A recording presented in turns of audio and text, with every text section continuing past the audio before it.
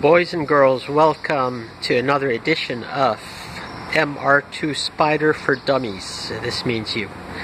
Just kidding. So today we're going to look at how to check your precats. As you know, the precat can be a source of trouble uh, on these cars. If they disintegrate, then the precat debris can go into the engine cylinders and cause damage and so on so forth. This is documented elsewhere. So the car has a exhaust header with two catalytic converters on the header They're under this heat shield. Can't really see them, but um, the way that you check them for damage is you need to remove the O2 sensor and uh, just look inside with a bright light and uh, you can tell pretty easily what's going on with your precats by doing this so that's what we're going to do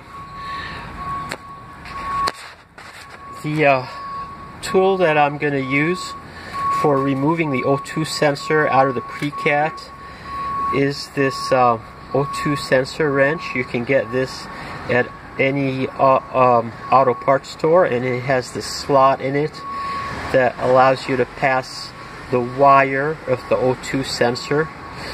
Okay, so I'm going to show you how that fits onto the O2 sensor. Let me switch hands with the camera. So this goes on, this goes on like so, okay.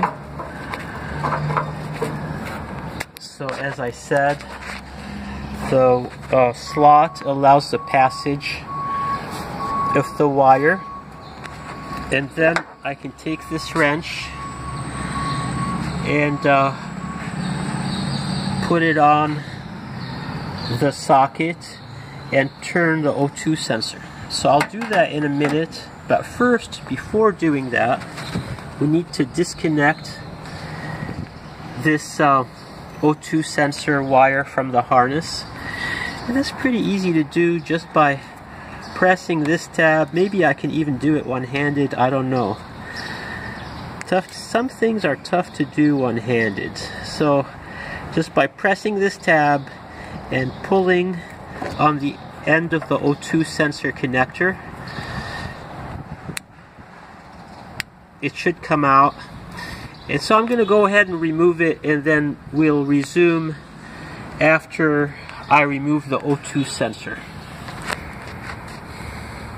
So here is the wrench in position on the O2 sensor. Make sure that it is well seated on the O2 sensor so it does not strip it. And then we can just simply turn it. There, I broke it loose.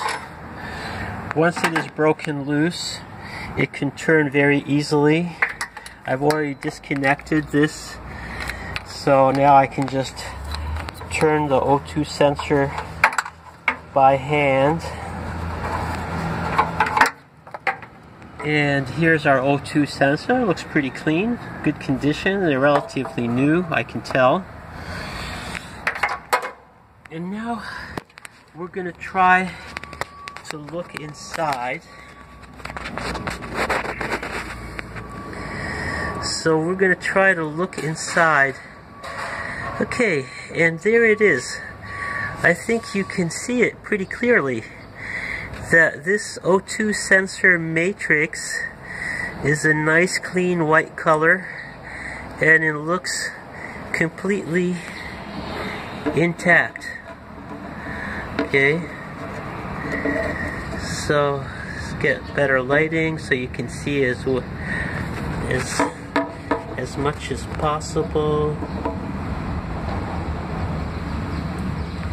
There we go again uh, yeah. So you can see the matrix is nice and white and intact. So this O2 sensor I mean this uh, precat is okay. And uh, we can repeat the same thing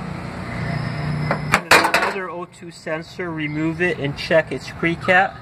Because just because one precat is okay doesn't necessarily mean that the other is also okay So we would remove it the same way and disconnect its connector, which is right there. And uh, that's how we go about checking the precats. Thanks for watching.